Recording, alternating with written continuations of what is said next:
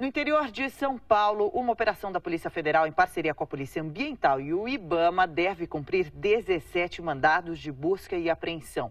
De São José do Rio Preto, fala ao vivo a repórter Melissa Kellen. Bom dia para você, Melissa. Qual o objetivo exato dessa operação?